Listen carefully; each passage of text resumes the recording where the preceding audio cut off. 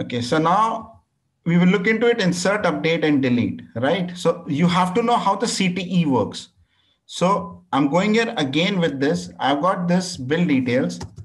I'll say with CTE as select, right?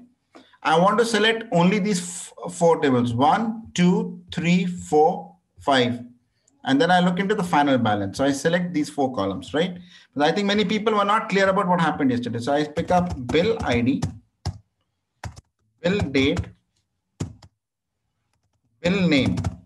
Is it correct? Comma ledger. And I pick up, say, the final balance, right? Final balance. From. I have to mention the table name, the stage underscore bill underscore details. So then with CT1 is a common table expression. So this actually helps me reuse the queries during the course of the execution. So I can do it across multiple. So I say select star from CTE. So I go here and I click here and then I get all this. Now I want to insert the data. I want to create a table from it. So I say select star into stage underscore bill underscore details underscore Conduira. Right. Select star into. Is the point clear, team?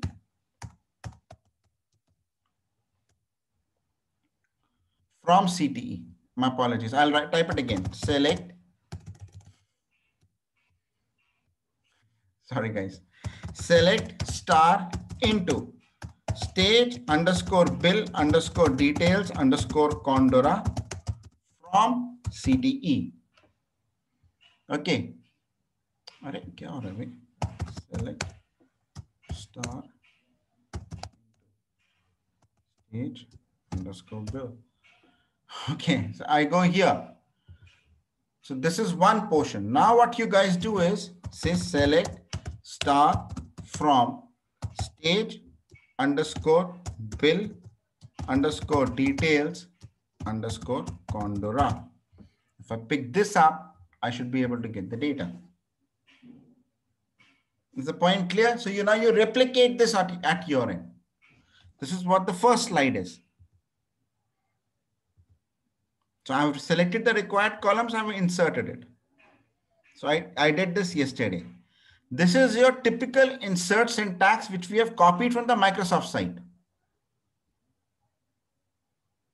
So we looked into with the CTE, how do you do the insert into this particular table? And then we have also looked at the values. You can also put in the default, this thing. Now, suppose, now we will look into how do you specify the database name and the owner name, right? So I can also say select star from. Now my database name is what exactly inventory underscore analysis underscore because I can access database from multiple places. So inventory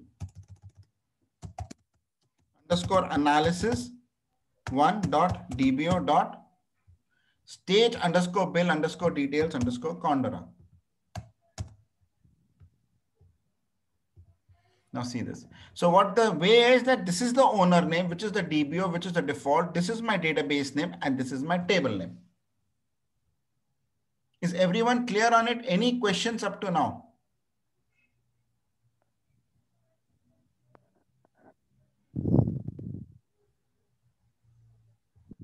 Okay, because yesterday's portion was not clear. Similarly with CTE, I can do a number of other things. So what I can do here is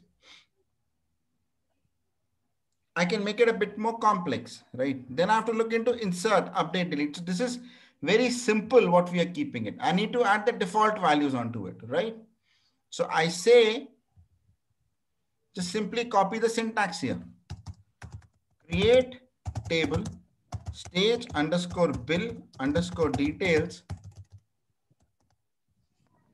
In fact, what I'll do here is this way.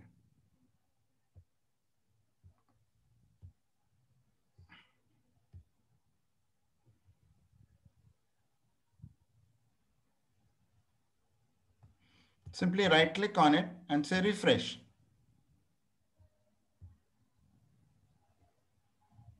Now I go here. Now pick up the schema here, right?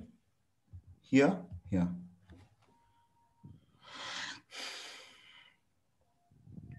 Now what he says is, I want to add a default value to this. So if I need to add a default value here, so what he has done is I'll put up this thing. So what I do here is I'll say drop table stage underscore bill underscore details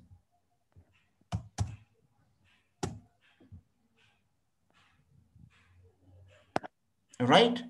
And this is where cash. So it should not be. So I say default here, but it should ideally be date. Right?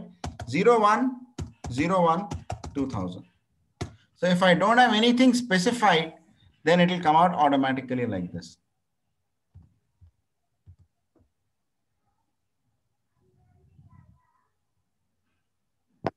Is it clear? Now I append this query.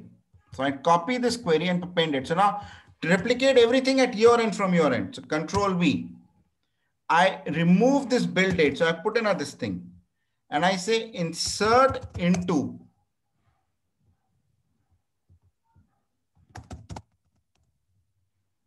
Then I say select star from CTE. Is it clear? Now let's see what happens. So it does not match the table definition. So now insert into, and the default value is here. So insert into bill ID comma bill name comma ledger, comma, final balance. Right? Now let's do this. Sorry, dear. Final balance. Right? Everyone clear? So I insert it. Now let's see what happens here and what happens here. Select star from state underscore bill underscore details controller. So I'm giving you very easy ones. But what is the default value which has been put up? What was specified in the table definition. Is that clear? See, I'm making it like this. So you'll have to practice it. I'll do this once again after 45 minutes or one hour again with you. Then I'll look into update.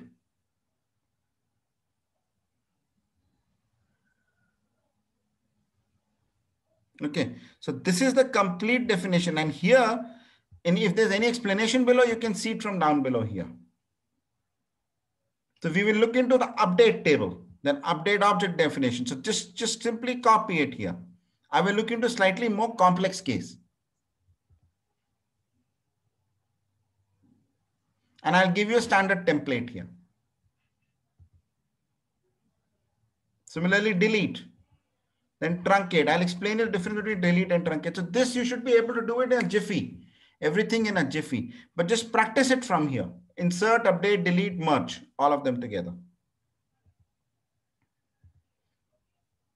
Is everyone clear on it? Yes or no? Then I'll look into indexes.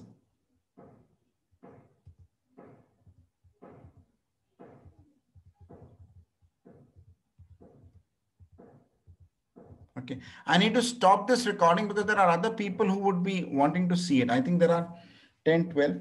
So I'll stop it. I'll upload it and then the team can see it right now. Okay. But the resources have to practice it. So just practice it the way and use the data warehouse for it. So I will guide you, but remaining things you'll have to do. Anything else?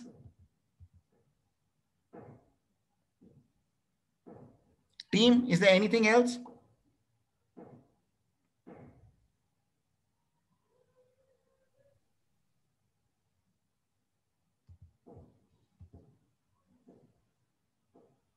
Okay, fine. Thank you. I'll just do that.